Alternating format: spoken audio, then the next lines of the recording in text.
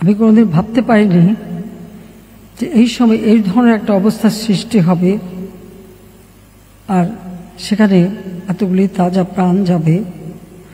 কারণ স্বজন হারা বেদনা নিয়ে আমি বেঁচে আছি। আমি জানি একজন আপনজন সবথেকে কষ্টের বিষয় হলো,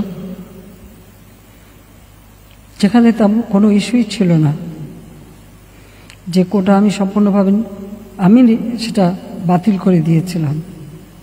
হাইকোর্টের রায় সেটা আবার যখন পুনর্বার নিয়ে আসা হয় সরকারি পক্ষ থেকে আমরা আপিল করি। আপিল বিভাগ সেটা সেই হাইকোর্টের রায় স্থগিত করে দিয়ে পূর্ণাঙ্গ শুনানির তারিখ নির্দিষ্ট করে দেয়। কাজে আবার সেই কোটা ফিরে আসে যে কোটা আর থাকবে না।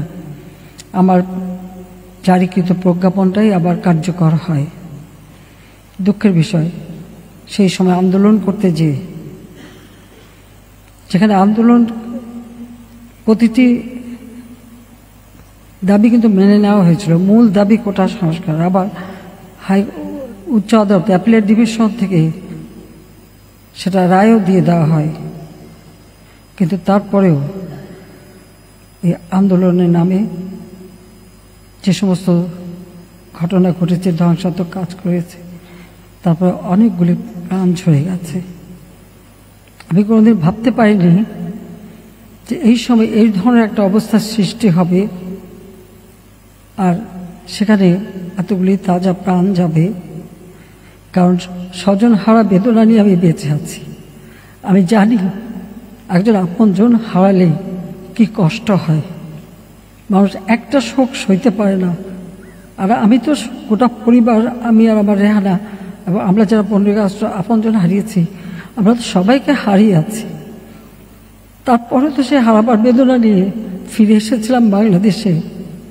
যে বাংলাদেশে তখন আমার বাবার ঘাতকরা ক্ষমতায় যুদ্ধ অপরাধী, যারা আমাদের মা বোনকে ধরে দিয়ে ওই পাকিস্তানি হানাদার বাহিনীর তাদের ক্যাম্পে তুলে দিয়েছে, গণহত্যা চালিয়েছে, অগ্নিসংযোগ করেছে, গ্রামের পর গ্রাম জালি পুড়ে ছারখার করে দিয়েছে।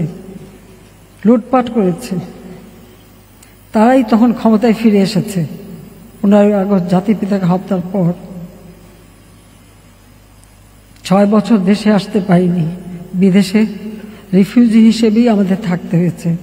আমার ছোট বোনের পাসপোর্টটাও যারা ক্ষমতা এসেছিল দেয়নি। রিনিউ করতে দেয়নি। ছয় বছর পর বাংলাদেশ আওয়ামী লীগ আমাকে যখন সবার প্রতি নির্বাচিত করে ফিরে আসি আমি ফিরে এসে বাংলাদেশের এমন কোনো অঞ্চল নেই। প্রত্যন্ত অঞ্চল আমি ভ্রমণ করি, কোন দেশে, এলাকার মানুষ। যে দেশে বঙ্গবন্ধুর আমলে আমরা প্রবৃদ্ধি নয় ভাগ পর্যন্ত অর্জন করেছিলাম। মাথাপিছু আয়, মাত্র চুয়ান্ন মার্কিন ডলার থেকে দুইশো সাতাত্তর মার্কিন ডলার উন্নীত করেছিলাম। সেই দেশ আবার পিছনে পড়েছিল।